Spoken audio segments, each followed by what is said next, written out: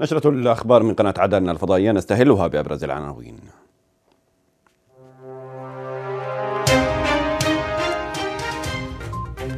الحكومة تؤكد ازدياد انعدام الأمن الغذائي في بلادنا بسبب انكماش الاقتصاد الوطني نتيجة إشعال الميليشيات الحوثية للحرب.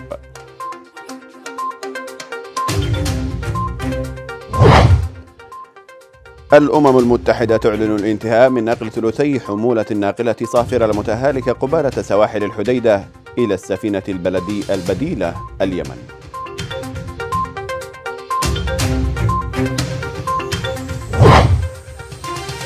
ميليشيات الحوثي تحول مدرسة حكومية في الحديدة إلى معسكر تدريبي وتختطف مواطنا نازحا في مدينة إدلب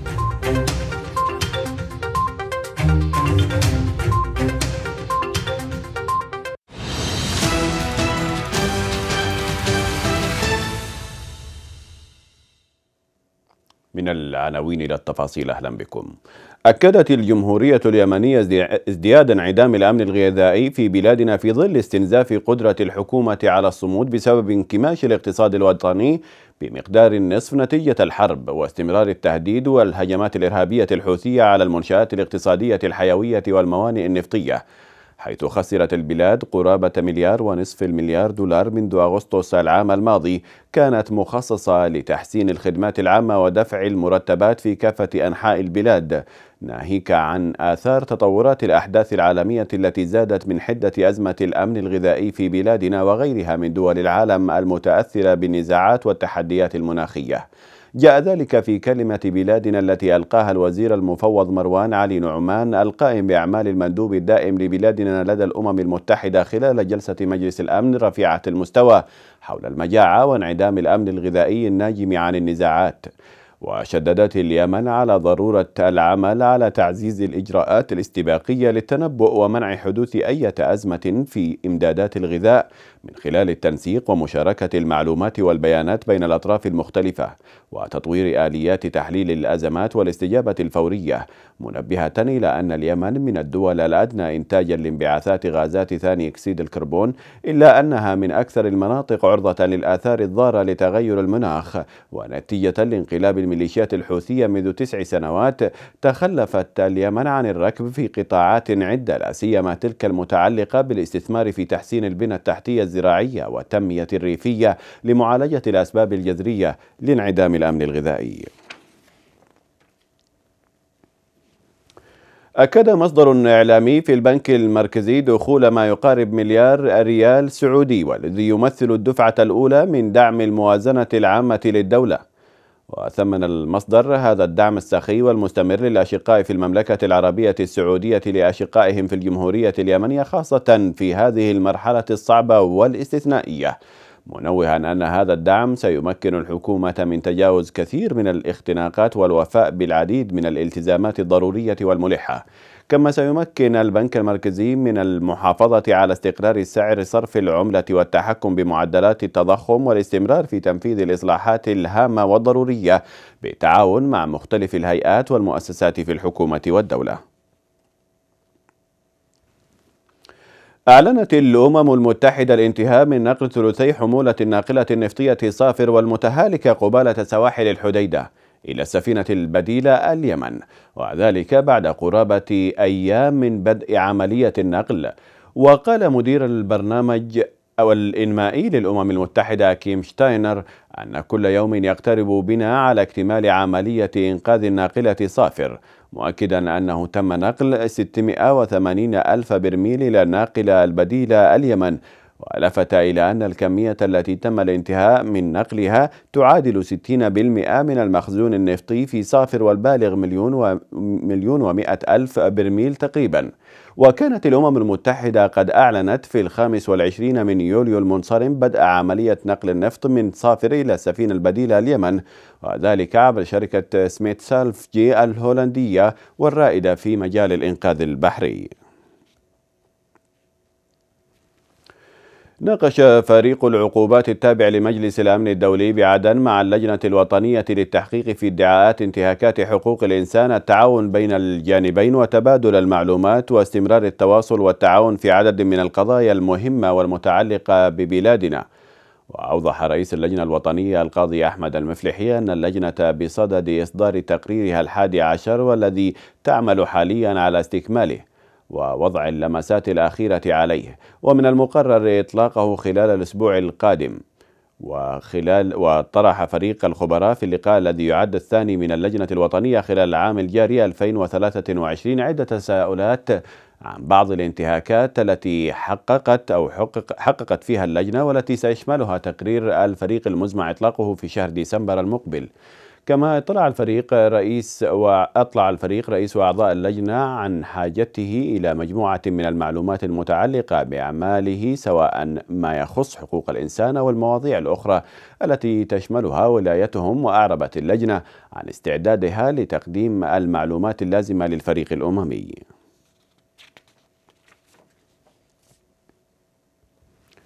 ميدانيا دشنت قيادة لواء صقور اليمن دورة قيادة سرايا مشاه جبلي في إطار البرنامج التدريبي الذي ينفذه اللواء في مرحلته الثانية للعام التدريبي 2023 في مركز الصقور التدريبي بمحور قطابر صعدة وفي حفل التدشين أكد قائد اللواء العميد أمين السويدي أهمية الدورات العسكرية المتخصصة في رفع مستوى الجاهزية القتالية والمعنوية لمنتسبي اللواء وبما يؤدي إلى تنفيذ المهام الموكلة في مسرح العمليات بكفاءة عالية وبأقل التكاليف مشيدا بالمهارات القتالية العالية والمعنويات المرتفعة التي يتمتع بها أبطال صقور اليمن. وأوضح أن هذه الدورة جزء أساسي من البرنامج التدريبي الذي ينفذه اللواء في مرحلته الثانية للعام التدريبي وذلك في إطار السعي المتواصل للارتقاء بمستوى القيادة لضباط اللواء للقيام بدورهم البطولي واستكمال مسيرة التحرير اليمانية الخالدة واجتثاث جذور المشروع الإيراني الطائفي البغيض من كل تراب الأراضي اليمنية الطاهرة. وعبر العميد السويدي عن شكره للدعم الذي يقدمه مجلس القيادة الرئاسي والتحالف العربي بقيادة المملكة العربية السعودية للقوات المسلحة اليمنية المرابطة في محافظة صعدة المعقل الرئيسي لميليشيات الحوثي الانقلابية الإرهابية المدعومة من إيران. في الحديدة استشهد الطفل محمد أمين إسماعيل مجهص بانفجار لغم حوثي في منطقة ضمي جنوب مديرية حيس محافظة الحديدة. وأفاد قائد الفريق السادس والعشرين مسام المهندس سامي سعيد بمقتل الطفل محمد أمين 12 عاما بانفجار لغم مضاد للدبابات زرعته الميليشيات الحوثية في منطقة ضمي بمديرية حيس. وأضاف المهندس سعيد بأن الطفل محمد أمين توفي متأثرا بانفجار اللغم وذلك أثناء قيامه برعي الأغنام. وأكد بأن الفريق تلقى بلاغا عن حدوث انفجارات ليتحرك فورا لموقع الانفجار ويقوم بتأمين الموقع واستخراج بقايا الطفل ليتم دفنها فيما بعد مشيرا إلى أن منطقة ضمي تعد من أكثر المناطق تضررا بالألغام في مديرية حيس وقد قامت ميليشيات الحوثي بزراعتها بالألغام بشكل عشوائي وعمل فريق مسام خلال الأشهر الماضية على انتزاع الآلاف من الألغام من المزارع ومراعي الأغنام والطرقات لكن كمية الألغام المزروعة والزراعة العشوائية للألغام هي من تسبب بمثل هذه الحوادث. حولت ميليشيات الحوثي الإرهابية المدعومة من إيران مدرسة حكومية شمالي محافظة الحديدة إلى معسكر تدريبي لعناصرها من المجندين الجدد. وقالت مصادر تربوية بمحافظة الحديدة أن القيادي المدعو أبو طه الهادي مشرف الميليشيات في مديرية الزهرة أبلغ مدير المديرية ومدير التربية بنقل الطلاب الراسبين إلى في المدارس إلى الحكومية بالمديرية إلى مدرسة بن نعمان بحجة إقامة دورة تنشيطية لهم إلا أنه تم تحويل المدرسة إلى معسكر تدريبي يستهدف الطلاب الراسبين والأطفال لتدريبهم على القتال ومن ثم إرسالهم إلى الجبهات بعد تعبئتهم بالأفكار الطائفية. هذا وتستغل الميليشيات الأوضاع المادية الصعبة لأولياء الأمور لدفعهم لتجنيد أبنائهم في صفوفها بعد رفعها الرسوم الدراسية ومضاعفتها على الطلاب لدفعهم للتسرب ومن ثم إلحاقهم بمعسكراتها وتحويلهم لمقاتلين. أقدمت عناصر الميليشيات الحوثية بمدينة إب على اختطاف مواطن نازح في مدينة إب. وقالت مصادر محلية أن المواطن حسن الواحدي من أبناء تعز تعرض للاختطاف بعد إبلاغه من قبل مسؤولة مسؤولة حوثية بالحضور لاستلام سلة غذائية من إحدى المنظمات التي تشرف عليها الميليشيات الحوثية.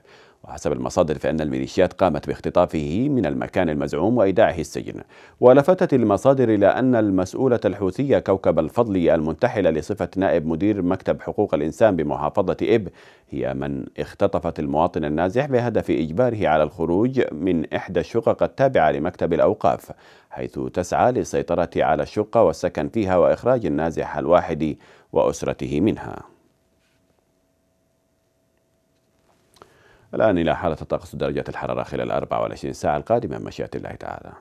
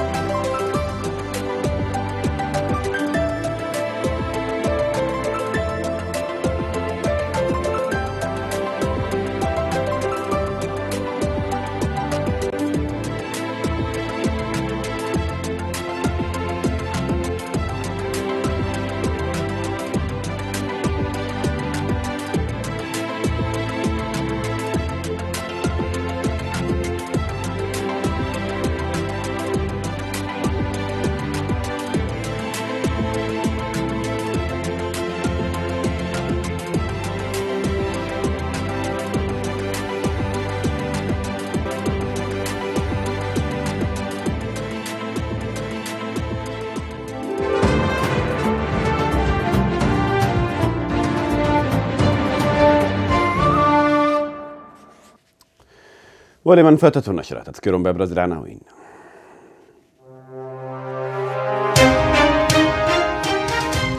الحكومة تؤكد ازدياد انعدام الأمن الغذائي في بلادنا بسبب انكماش الاقتصاد الوطني نتيجة إشعال الميليشيات الحوثية للحرب.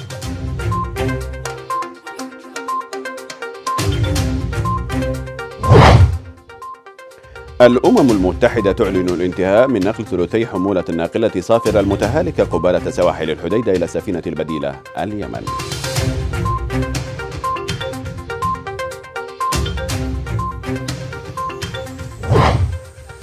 ميليشيا الحوثي تحول مدرسة حكومية في الحديدة إلى معسكر تدريبي وتختطف مواطنا نازحا في مدينة إب.